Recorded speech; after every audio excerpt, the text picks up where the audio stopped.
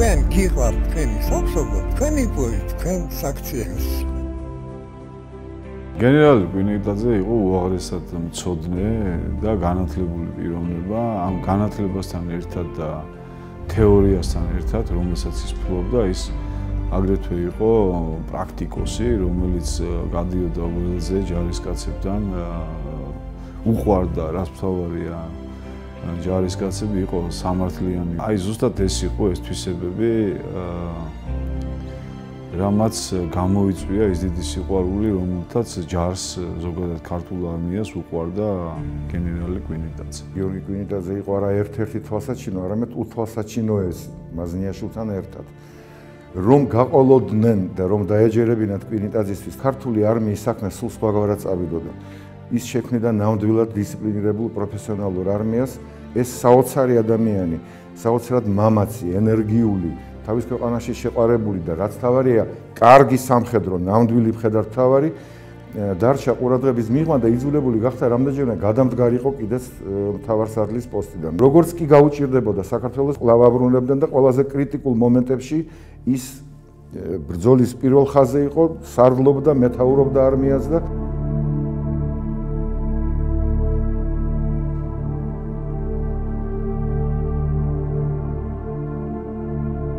გამოსtildeება, რომელიც მან მიიღო მთელი თავისი კარიერის მანძილზე, დაეხმარა მას იმაში, რომ ჩამოეყალიბებინა ისეთი არმია, როგორც იმ პერიოდისთვის მან შეძლო. ძალიან დიდ საქმეში მას გვერდით უამრავი ოფიცერი ედგა, რომლებსაც აგრეთვე განათლება მიღებული ჰქონდათ იმ დროინდელ სამხედრო დაწესებულებებში. ქართული არმიის შექმნასთან ერთად ის ძალიან დიდ მნიშვნელობას ანიჭებდა განათლებული სამხედრო მოსამსახურეების აღზრდასაც. ჩამოაყალიბა იუნკერთა სასწავლებელი, რომელიც ითვალისწინებდა ზუსტად იმ კატეგორიის ოფიცრების აღზრდას, რომელიც შემდგომში ჩაუდგებოდნენ ქართულ არმიას სათავეში და მოიაზრებოდნენ სამეთაურო რგოლად. ეს იუნკერები, რომლებსაც მე რა თავი შესწირეს ბოლშევიკებთან ბრძოლას ყოჯორთან და ტაბახმელასთან ეს სწორედ ეს იუნკერები იყვნენ რომლებიც აღზარდა გიორგი კვინიტაძე.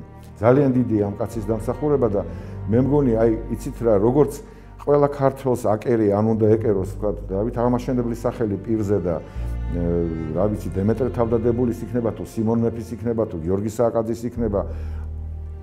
ყველა ახალგაზრდას პირზე უნდა ეკეროს მაზნიაშვილის და კვინიტაძის გვარი და სახელი, იმიტომ რომ ეს ორი ადამიანი იყო გადამკვდარი ამ ქვეყანაზე, ნამდვილი მებრძოლი, ნამდვილი სარდლებად დაბადებული ადამიანები, რომელთა ღვაწლით ჩვენ წინაშე უზარმაზარია და ჩვენ ყოველთვის უნდა გვახსოვდეს მათ სახელები.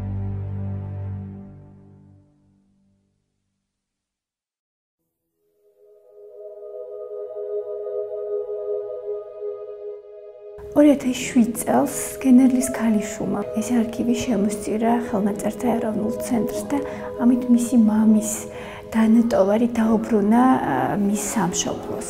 ის არის ერთ-ერთი ყველაზე გამორჩეული კოლექცია ჩვენი ცენტრის და მთელი ქვეყნისაც საქმე ეხება გიორგი კვინიტაძის სამოსის კოლექციას. საუბარი არის 6 ერთეულ სამოსზე, მათ შორის არის ჩოხა და ახალუხი ეროვნული არის სამხედრო პერანგი, სამხედრო მუნდირი, ფარეჯა და გარდა ამისა ძალიან საინტერესო ქალის ქართული შესამოსელი. სამოსი იყო საკმაოდ სავალალო მდგომარეობაში. თადეთის სამინისტრომ თავის თავზე აიღო გენერალ კვინიტაძის სამოსის სრული კოლექციის რესტავრაციის საკითხი. დაიწყო ძალიან რთული, მაგრამ საინტერესო პროცესი სამოსის კოლექციის რესტავრაციისა.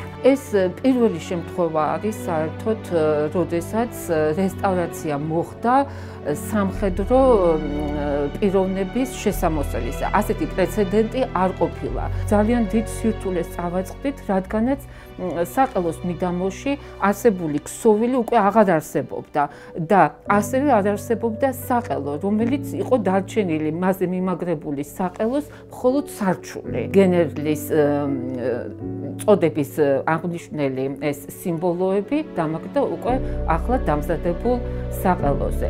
გენერალ კვინიტაძის სამოსლის კოლექციაში არის მისი ქალიშვილის ეროვნული შესამოსელი. დღეისათვის ჩვენ გვაქვს აღდგენილი სრულად ექვსივე სამოსის ერთეული და ერთი ძალიან საინტერესო დეტალი გახლავთ. გენერალ კვინიტაძის სამხედრო მუნდირში აღმოჩნდა წმინდა გიორგის ძალიან საინტერესო გაცვეთილი, გაცრეცილი ხატი გულის ჭიბეში. ეს ხატიც იყო სარესტავრაციო და ხელნაწერთა ეროვნული ცენტრის რესტავრატორები ამ ხატს უტარებენ რესტავრაციას და ეს ხატიც რესტავრირებული სახით დაუბრუნდება კოლექციას სრულად. და როგორც ამ დიდი საქმის ერთ-ერთი ყველაზე მნიშვნელოვანი ინიციატორი, თავდაცვის სამინისტროს საგამოფენო სივრცეში დარბაზში გადაინაცვლებს საზოგადოებისათვის ეს კოლექცია, ხოლო შემდეგ როგორც უკვე აღნიშნე, ჩვენ ვქებმართ გავაკეთოთ კაბინეტი გენერალ გიორგი კვინტაძის, სადაც ეს სამოსი დაიდებს ბინას. ეს არის უნიკალური თანამშრომლობის ნიმუში, როდესაც საზოგადოებრივი ჩართულობით, კულტურულ საგანმანათლებლო სივრცისა და სახელმწიფოს თანამშრომლობით წარმატებით გასრულდა ძალიან მნიშვნელოვანი საქმე. კვინიტაძის სამოსი თავის თავში არ არის მხოლოდ უბრალოდ სამოსი.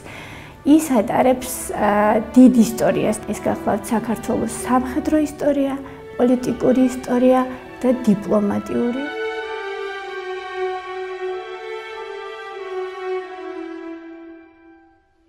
ეს იქნება ერთ-ერთი ყველაზე საინტერესო ექსპოზიცია საერთოდ ჩვენი დღესასწაულების ეროვნული დამოუკიდებლობის დღესასწაულების დროს. ამ მუნდირის რესტავრაცია ნიშნავს არა მხოლოდ იმას, რომ ჩვენ პატივს ვცემთ მაგალითად გენერალ კუნიდაძის. ეს ნიშნავს იმასაც, რომ ჩვენ პატივს ვცემთ ყველა იმ ადამიანს, ვინც გენერალ კუნიდაძესთან ერთად იმ პერიოდში თავი გადადო და სამშობლოს შესწირა ყველაზე ძვირფასი თავისი სიცოცხლე.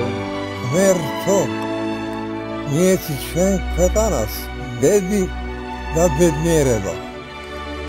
მერტო მიეცი ჩვენ ქართველებს სწავლა და მეცნიერება.